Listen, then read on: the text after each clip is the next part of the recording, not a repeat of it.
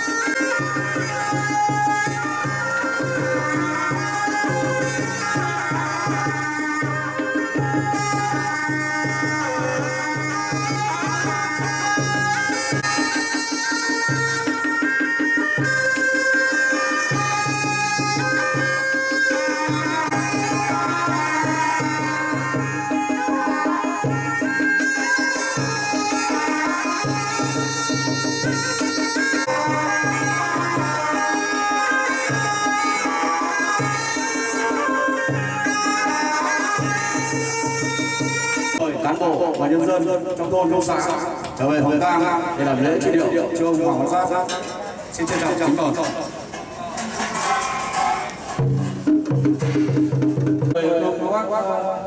đứng trong ngày Ông đi chiến trường, trưởng ban tác mặt trận lên lên sân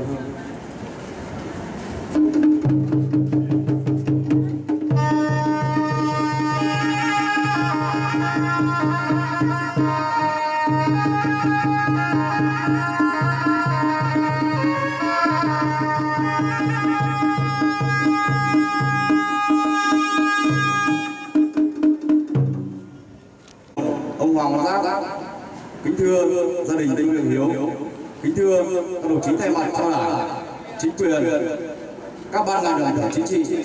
Trong thôn trong xã ban quản lý mặt trận thôn an chửa hai. Kính thưa toàn thể nhân dân cùng các đoàn đại địa phương. Chúng tôi thật vô cùng thương xót nhận được tin ông Hoàng Văn Giáp thường trú tại đội 1 thôn An Chửa 2 xã Liên Phương thành phố Miên tỉnh Hưng Yên. Đã 250 về với hàng. Bằng, thay mặt chính quyền thôn ban công tác mặt trận thôn An Chửa 2 chúng tôi có vòng hoa hương lắm hương tròn đến kinh viếng, và tiến đưa ông về nơi an nghỉ cuối cùng. Chúc ông về nơi xứ vàng, an giấc vàng thu. Để tiếp tục chương trình tôi xin trân trọng kính mời ông đi chính trường, trưởng ban công tác mặt trận công an trưởng hai, đến tóm tắt lại 68 mùa xuân xin trưởng của ông Hoàng Văn xin chào trọng kính mời ông. Kính thưa hương hồn ông Hoàng Văn Giáp. Kính thưa bà Hoàng Phụ, Tạ Thị Ngàn. Kính thưa các vị đại diện do đảng, chính quyền, ủy ban mặt trận tổ quốc, các ban ngành, đoàn thể, chính trị chính trị trong thôn, trong xã. Kính thưa các đoàn đại biểu, các đoàn khách, thập phương cùng toàn thể nhân dân. Thưa gia đình, có việc thiếu thật vô cùng thương xót. Khi nhận được tin, ông Hoàng Văn Giáp, thành viên mặt trận thôn An Triều 2 qua đời, ban công tác mặt trận, chính quyền thôn An Triều 2 đến thăm hỏi và cùng gia đình bàn thành lập ban tang lễ và thống nhất giờ không điệu giờ chi điệu lễ an táng ông Hoàng Văn Giáp về nơi an nghỉ cuối cùng. Ban công tác mặt trận, chính quyền thôn kịp thời thông báo tin buồn tới cán bộ và nhân dân trong thôn, trong xã biết tin, đến thăm hỏi và chia buồn cùng tang quyến.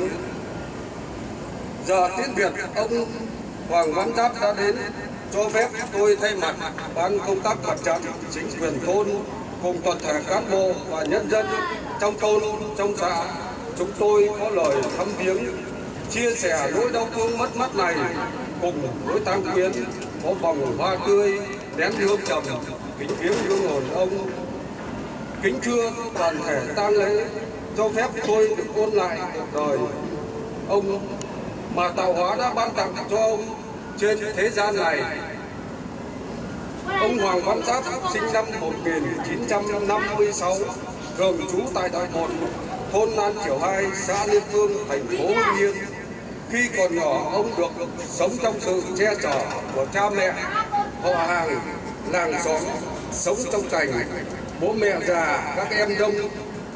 Ông phải vươn trải, lo toan, mưu sinh, tạo cảnh, làm ăn, chất phát cơ bản, được mọi người yêu mến. Khi trưởng thành, cơ duyên trời sẽ cho ông một người vợ hiền là bà tạ thị ngàn hai vợ chồng ông sống hạnh phúc, sinh nhà hai người con gái. Các con của ông còn thơ nhỏ khờ dại vợ chồng ông chấp hành tốt chính sách của đảng, pháp luật của nhà nước, các quy định của địa phương. Kính thưa các vị đại biểu, thưa toàn thể nhân dân, ông hoàng văn giáp, qua một thời gian lâm bệnh, mặc dù đã được các con, các cháu, họ nội, họ ngoại cùng các y bác sĩ tận tình cứu chữa xong ông mắc phải căn bệnh quá hiểm nghèo ông không qua hỏi ông đã tạ thế vào hồi 4 giờ 5 phút ngày 3 tháng 10 năm 2023, tức là ngày 19 tháng 8 năm Quý Mão, ông Hưởng họ 68 tuổi. Ông mất đi là một tổn thất vô cùng lớn lao với gia đình, dòng họ. Không có gì thay thế được. Vợ con ông mất đi người chồng yêu thương. Các con của ông mất đi người cha sớm hôm tần tảo. Họ hàng mất đi một thành viên tốt, làng xóm mất đi một người bạn hiền, yêu thương và đáng nhớ. Xã hội mất đi một công dân tốt, thưa toàn thể nhân dân sinh ra và mất đi. Âu đó là quy luật của tạo hóa. Dẫu biết rằng sinh có hạn tử bất kỳ, thật là cuộc đời khoáng tượng chiêm bao. 60 tuổi biết bao nhiêu nghĩa tình. Hôm nay đông đủ xóm làng, chúc ông về với suối vàng ngàn năm. Trước giờ phút đi biệt này, cho phép chúng tôi được chia sẻ nỗi đau thương mất mát cùng tang quyến kính cẩn trước vong linh ông và chúng ta cùng chúc và tiễn đưa ông về với chút vàng, an giấc ngàn thu để tưởng nhớ trước vong linh.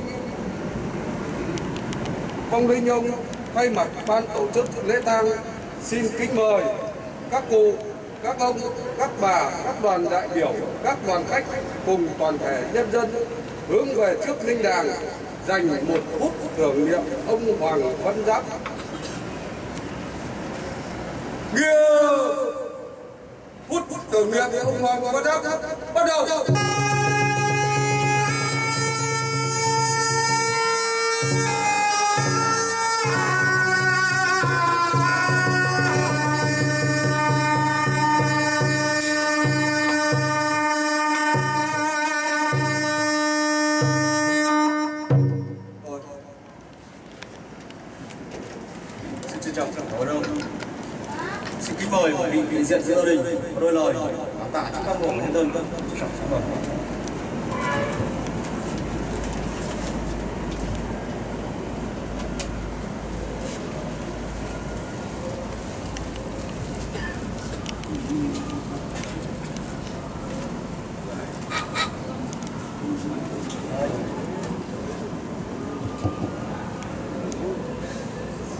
Ờ, tôi xin à, kính thưa kính thưa các cụ công các bà thưa các đoàn thể đại biểu các đoàn khách. Thật vô cùng thương xót cháu tôi là Hoàng Văn Giáp sinh năm 1956 thường trú tại đồi 1 thôn An kiểu 2 xã Liên Phương thành phố Hưng Yên hoàn cảnh đặc biệt khó khăn trong không may mắc căn bệnh hiểm nghèo mặc dù gia đình và các y bác sĩ tận tình cứu chữa. Song do tuổi cao, sức kiệt cháu tôi không qua khỏi và tạ thế 14 giờ 05 phút, ngày 3 tháng 10 năm 2023 tức ngày 19 tháng 8 năm Quý Mão, cháu tôi hưởng 68 tuổi tam gia bối rối gia đình không biết nói gì hơn.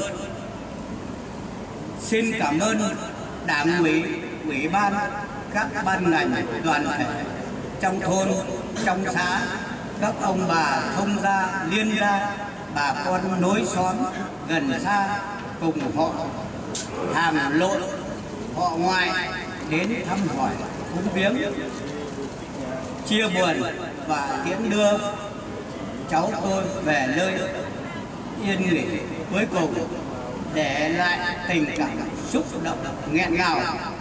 Sau khi đưa cháu tôi về nơi an nghỉ cuối cùng, được mồ yên mà đẹp, xin chân thành. Xin trân trọng, kính mời các cụ không các bà về tại gia tang gia đình, chúng tôi có lời cảm tạ và biết ơn. Xin đa tạ. Cảm ơn. Xin xin trân trọng ở đâu buổi lễ truy điệu của ông Hoàng Văn Giáp đến đây là kết thúc. Lễ diễu quan bắt đầu.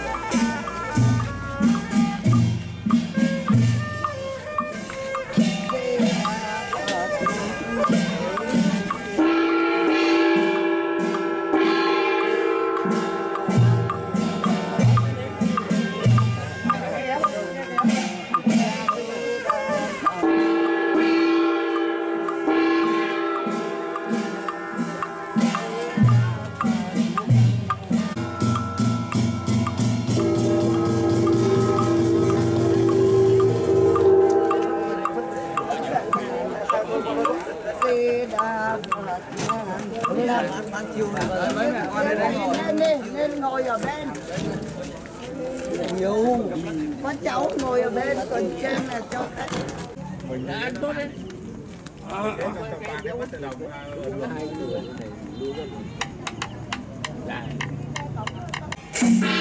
Thank.